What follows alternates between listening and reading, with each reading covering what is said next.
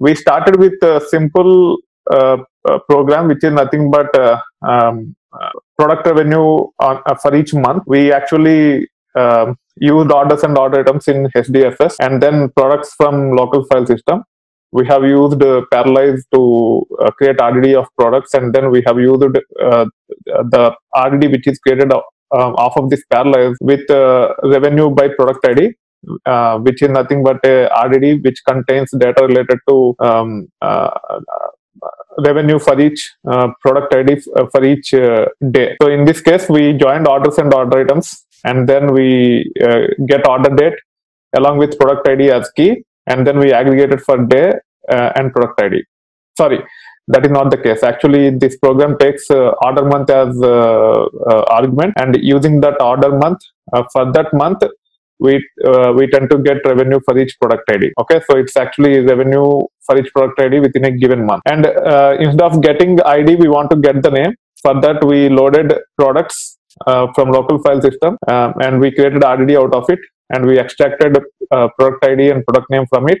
And we joined uh, this dataset with revenue by product id and then we got product name and revenue for that given month. We started with that program and then we actually added accumulators to it where we created uh, uh, two accumulator variables uh, orders count and order items count. In this case we just want to see how many orders are being processed and how many order items are being processed. And uh, uh, using uh, uh, sc.accumulator we initialized both the uh, accumulators. And then we have incremented them as part of the function um, the respective function where the order items count and also orders count is incremented. Okay, so the, uh, the accumulators are mainly for sanity checks. Um, and uh, when I actually demonstrate, um, I thought of showing you the uh, details about accumulators in uh, uh, uh, Spark UI, but then I realized uh, after going through the documentation that uh, with PySpark,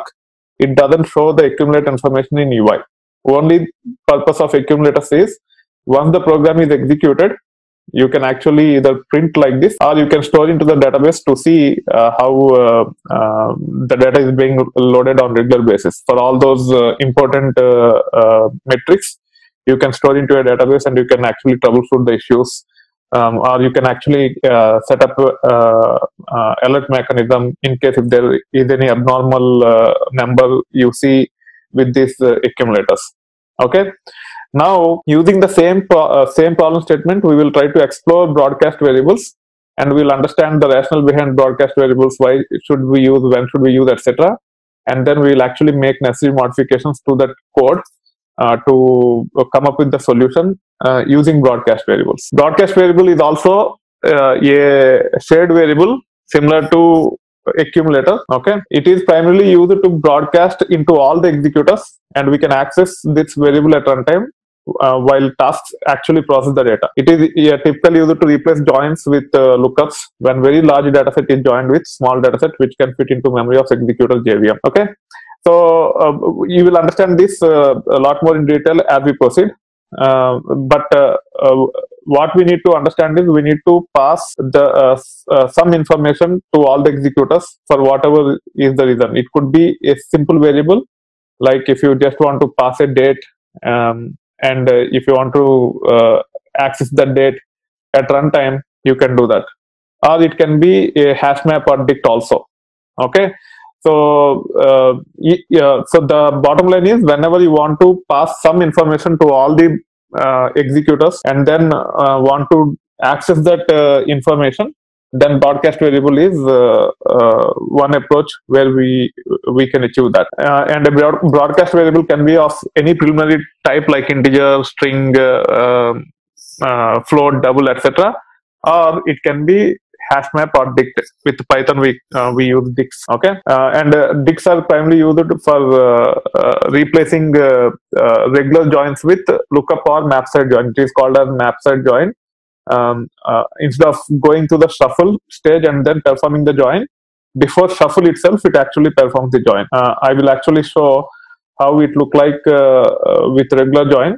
Um, you can actually see this picture and you can understand how the regular join works okay so for the same program which we have uh, ran earlier uh, without broadcast variable, the picture will be like this. We you have uh, uh, products, so this is for products, and this picture is from Scala uh, uh, uh, execution, not Python execution. Python picture will not be very obvious like this. It will be a bit convoluted. Just to make sure we understand the concept, I am using the DAG from Scala-based uh, Spark program for the same problem statement. You can see parallel and map. This is primarily to get products data and uh, extract product ID and uh, product uh, uh, name. And then uh, uh, when, when it comes to orders, we try to check against the month that's why you see filter so this is actually with respect to orders and this is actually with respect to um, order items. And then we join these two data sets you can see here these two uh, have gone to the shuffle stage. And then we joined it and then we uh, applied the uh, uh, map to uh, to get whatever information we need uh, from this. And then we actually aggregate by using the product id uh, we, we tend to get revenue for each product ID uh, using reduce by key. On top of this reduce by key output, uh, you can see that we are trying to join the products data. Okay, that's why you see the join here again. Uh, the join uh, uh, has to go through the shuffle stage here, and then we are actually getting the name.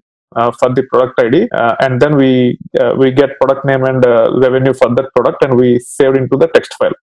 Okay, so you can see that all the joins actually resulted in a shuffle so joins happens post shuffle in a typical uh, scenario. But if you use broadcast variable as part of the uh, uh, map itself, we can actually look up. You don't need to do the join.